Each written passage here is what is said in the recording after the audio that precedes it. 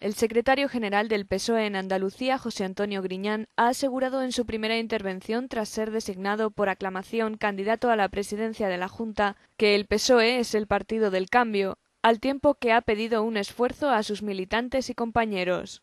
Va a ser difícil, va a ser complicado porque los tiempos son difíciles. El trabajo, el trabajo y la dedicación que nos va a exigir será mayor que en otras ocasiones. Y es verdad, tendremos que multiplicar nuestros esfuerzos. Pero dejadme que os diga que el desafío lo merece, porque podemos evitar que toda España sea ocupada por la marea conservadora e iniciar en Andalucía y desde Andalucía la recuperación del voto socialista. Y podemos hacerlo. Después de mostrar su emoción y agradecimiento por haber sido elegido candidato, Griñán ha insistido en que el PSOE es el único partido con el que Andalucía no va a dar marcha atrás en el modelo social.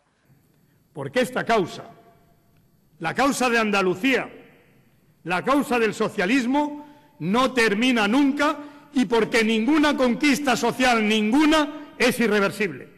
Además, el líder socialista ha garantizado que el futuro gobierno de Mariano Rajoy contará con la colaboración de la Junta de Andalucía. El cambio, el cambio que de verdad va a verse ahora, es que la oposición socialista en el Congreso de los Diputados, a diferencia de lo que hizo el PP, no va a aliarse con la crisis para vencer y derribar al Gobierno, sino que se va a aliar con el Gobierno para vencer a la crisis.